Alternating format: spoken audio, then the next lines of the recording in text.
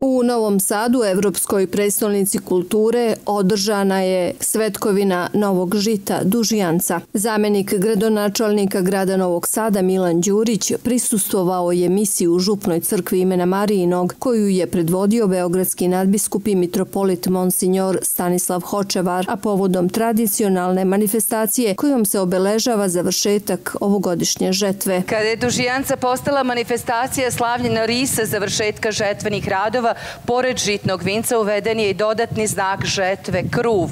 Kruv koji povezuje oltar i grad.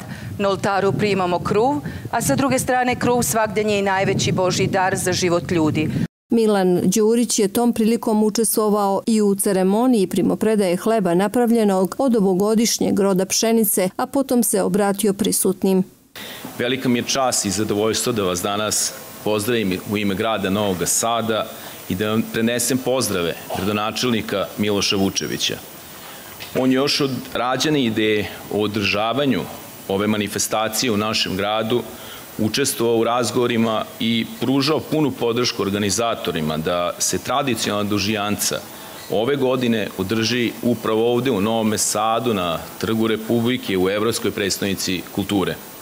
Mi u Novom Sadu se ponosimo našim multikulturalnošću, multikonfesionalnošću i multinacionalnošću, činjenicom da vekovima živimo u mirnom suživotu protkanim tolerancijom i prijateljstvom. Đurić je podsjetio da je Novi Sad upravo u duhu dobre saradnje sa Hrvatskom nacionalnom zajednicom preko Zavoda za zaštitu spomenika kulture, ali i uz veliku financijsku podršku Republike Srbije i autonomne pokrajine Vojvodine aktivno učestvovao u obnovi spomen kuće Bana Jelačića.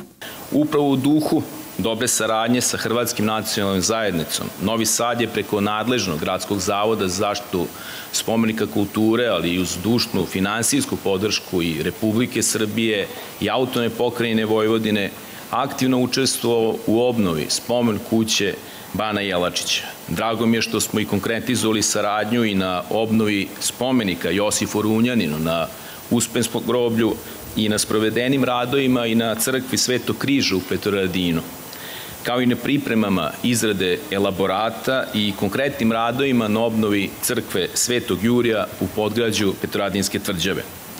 Ovo je još jedan pokazatelj da je kultura ta koja nas suštinski određuje, povezuje i uvek nam ukazuje na onaj ispravan put, a u tome svedoči i realizacija programa Dužijance u Novome Sadu.